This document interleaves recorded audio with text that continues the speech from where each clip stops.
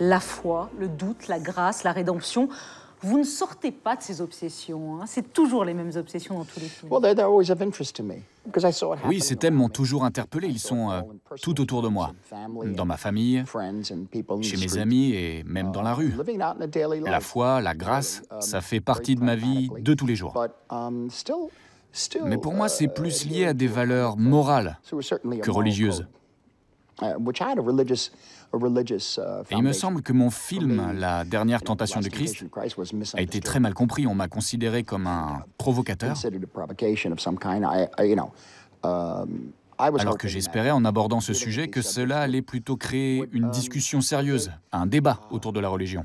a serious discussion or serious dialogue about these themes and these ideas.